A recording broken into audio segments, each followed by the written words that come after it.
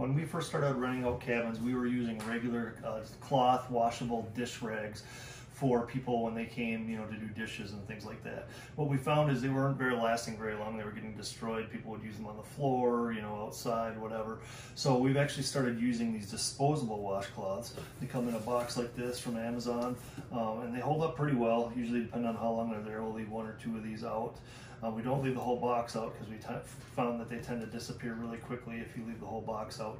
And then we've also started using, uh, giving people sponges like this. They come in a 24 pack from Amazon. The whole thing looks like this, but we do cut them in half. So when they arrive, you know, we have the disposable washcloth, the sponge, uh, refillable soap like a Dawn dish soap, small bottle, and then we give them a regular um, dish towel that they can dry dishes with.